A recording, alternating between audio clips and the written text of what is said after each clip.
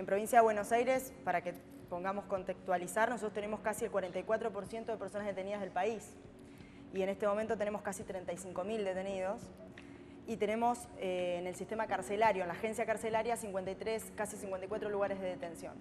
Eh, algo como para contarte del uso sistemático de la violencia, tiene que ver, eh, por ejemplo, con la sobrepoblación, que nosotros consideramos que es un mecanismo, una práctica de violencia, y que lo que hace a la agencia penitenciaria es habilitarla a usar lo que se llaman los castigos o beneficios del acceso a los derechos, digamos, ¿no? A la salud, a la educación, al trabajo, a la alimentación, a cosas básicas estamos hablando. Estamos como 10 pasos para atrás, porque lo que nosotros le estamos pidiendo al Estado es que reconozca que tortura. Claro.